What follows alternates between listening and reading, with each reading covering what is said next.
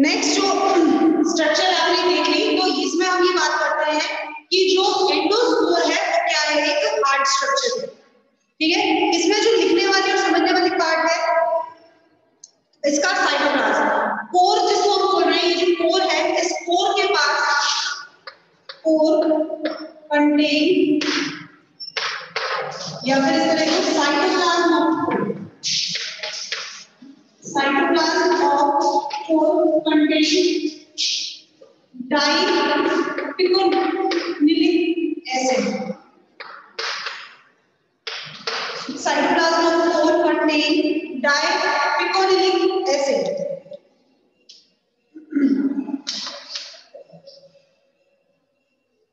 ठीक है अच्छा अब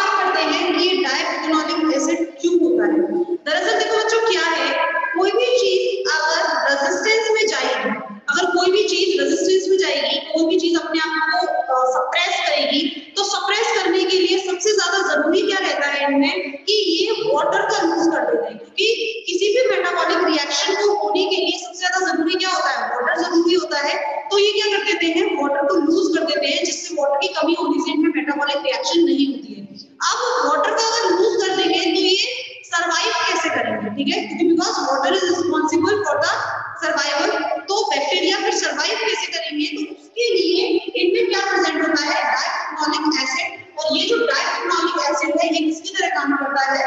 This diphenolic acid act as a stabiliser ये स्टेबलाइजर की तरह काम करता है कि in the absence of in the absence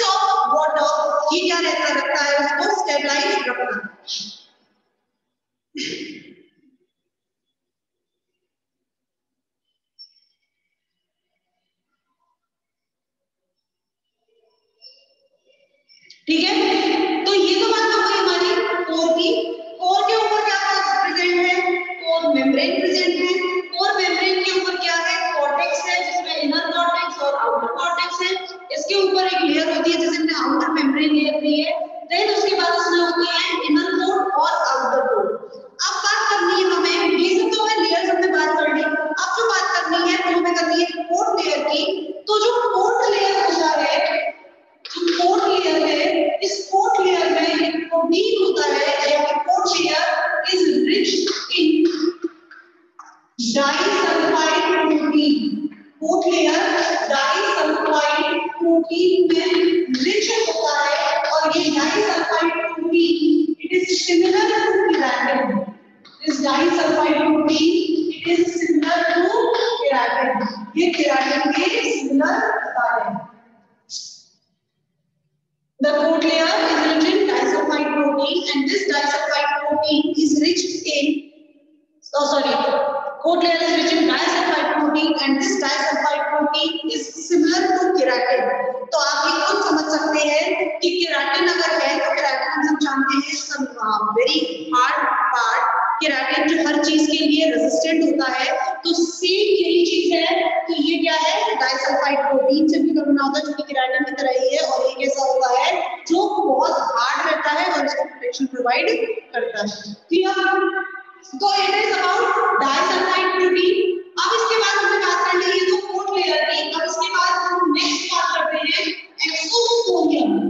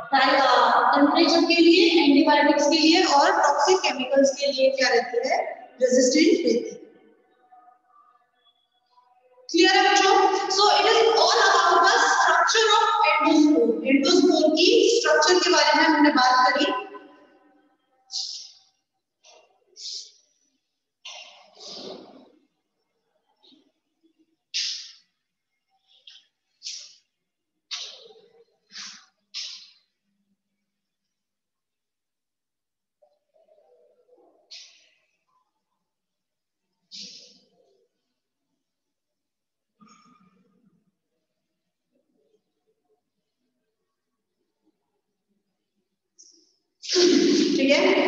next हम जो बात करते हैं इसकी नेक्स्ट बात करते हैं सबसे पहले जर्मिनेशन ये एंडोस्पोर जर्मिनेट कैसे करेगा? जर्मिनेशन ऑफ़ एंडोस्पोर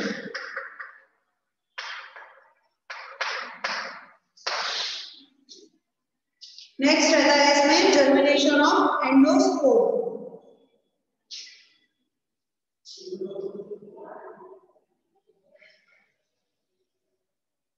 ठीक है?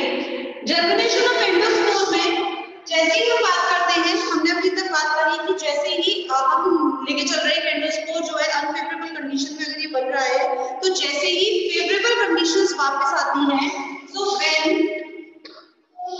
favourable conditions when favourable conditions are present जब फेवरेबल कंडीशंस होती हैं when favorable conditions are present endospore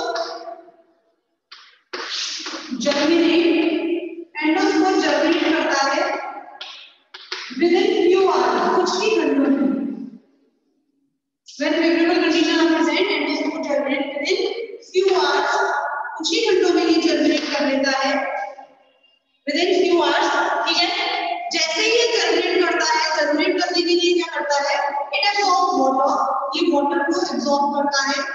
It absorb water and imbibe imbibe का मतलब क्या होता है? जैसे जो चट्टानें होती है, उनके अंदर भी पानी क्या होता है? इम्बाइब होता है। इसी तरह से इसकी जो कोट लेयर्स है ऊपर, इतनी सारी लेयर्स हैं, वो उनमें पानी क्या होता है? इम्बाइब होता है, अंदर जाता है। और पानी जैसे ही इम्बाइब होता है तो ये अंदर से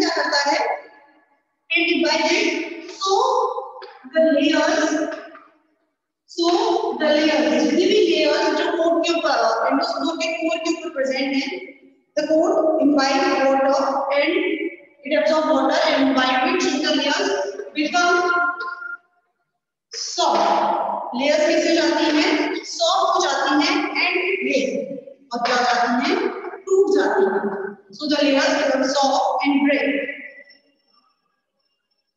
जैसे ही सारी लेयर्स टूट जाएँगी तो बचा क्या कोर का साइटोप्लाज्म बचेगा कोर बचेगा। अभी तक ये साइटोप्लाज्म में वाटर नहीं था बच्चों। उसको स्टेबलाइज करके रखा हुआ था डाइपेक्नोलिक एसिड से। तो जो साइटोप्लाज्म है, ये साइटोप्लाज्म एब्जॉर्ब साइटोप्लाज्म क्या करेगा? वाटर को एब्जॉर्ब करेगा। साइटोप्लाज्म एब्जॉर्ब वाटर ठीक है? Cytoplasm absorb water and salt and salt और वाटर के साथ साथ जो सॉल्ट मटेरियल इसको चाहिए, ठीक है? एंड सॉल्ट एंड और साथ में क्या एब्जॉर्ब करेगा? अगर वो एक फोटोसिंथेटिक बैक्टीरिया है तो वो पानी एब्जॉर्ब कर देगा खुद बनाना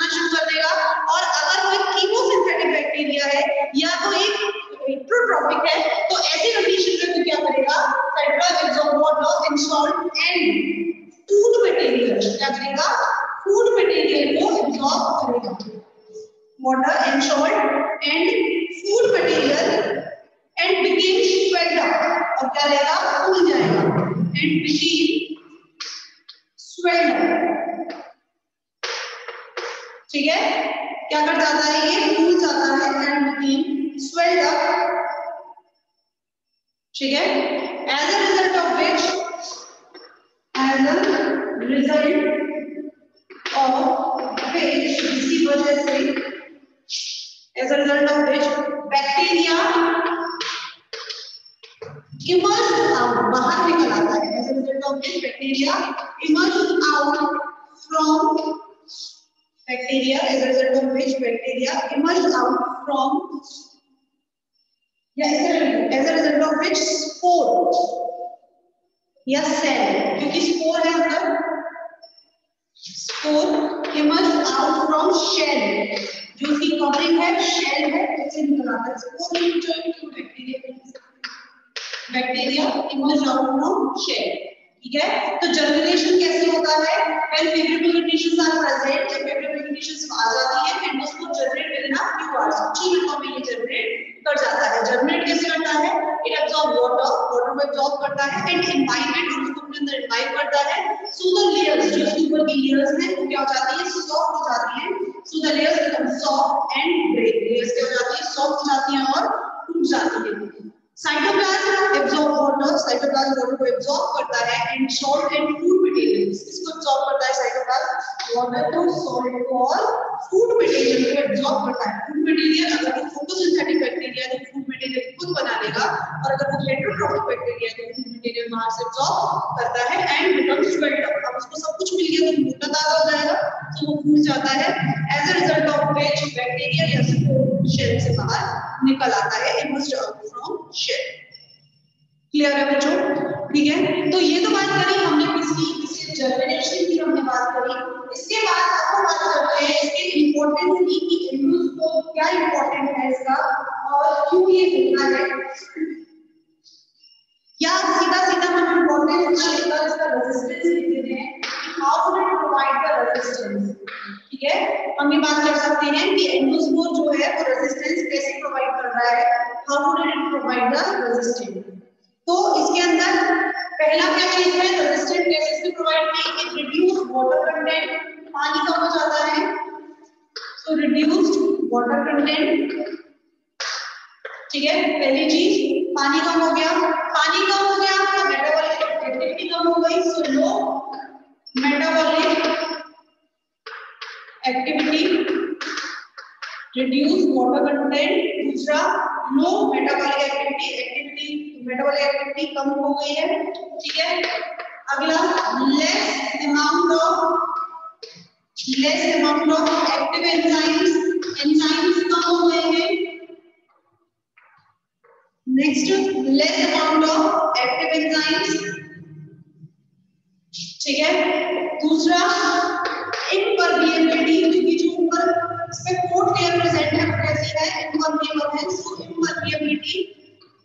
and and protective nature impermeability होना और प्रोटेक्टिव नेचर होना and protective nature of coat layer ठीक है कोट लेयर की इम्परमिएबिलिटी होना और उसका प्रोटेक्शन नेचर का होना.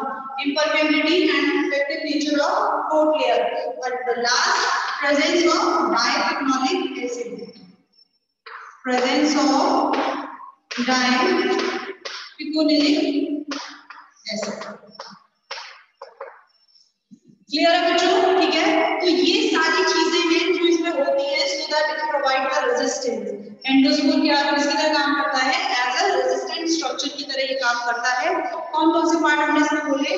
कि पानी का कंटेंट कम हो जाता है वाटर कंटेंट पानी कम हो गया तो मेटाबॉलिक एक्टिविटी अपने आप कम हो जाती है। मेटाबॉलिक एक्टिविटी कम हो जाती है तो एंजाइम एक्टिव एंजाइम्स की ज़रूरत है तो कैसे हो जाते हैं इनएक्टिव हो जाते हैं। अगला जो हमने अभी तक कोटलियर्स के बारे में पढ़ा था कि इम्परमेबल होती है प्रोटेक्टिव नेचर की होती है। और सबसे लास्ट क्या होता है इसमें? Diphenolic acid which act as a stabiliser clear है बच्चों? So it is all about the endoscope endoscope के बारे में मैंने काफ़ी ज़्यादा डिटेल में आपको पढ़ा दिया बिकॉज़ अगर एसेक्सुअल रिप्रोडक्शन अगर आपसे रिप्रोडक्शन देखो एंडोस्कोप डायरेक्ट तो कभी नहीं आएगा। सीधा सीधा आएगा describe the reproduction of bacteria जिसमें आपको सारा, यानी कि वेजिटेटिव एसेक्सुअल और सेक्सुअल रिकॉम्बिनेशन ये तीनों आपको लिखने हैं। तो आपका जो आज हमने कराया है, वो आपको एंडोस्कोप कराया जो कि एक एसेक्सुअल रिप्रोडक्शन का पार्ट है। नेक्स्ट क्लास में हम सेक्सुअल रिकॉम्बिनेशन की बात करेंगे। सो नेक्स्ट क्लास प्लीज़ आप इसे को भी मिस मत करिएगा because it is the most important part या तो रिप्रोडक्शन पूरा पूछा जाता है, नहीं तो सेक्सुअल रिकॉम्बिनेशन अलग से भी पूछा जा सकता है because it is very important तो जो भी बच्चे ऑनलाइन बैठे हैं, सब सुन रहे हैं तो प्लीज़ आप लोग मिस नहीं करना सेक्सुअल रिकॉम्बिनेशन वाला पार्ट ठीक है बच्चों? चलिए आज के लिए इतना ही।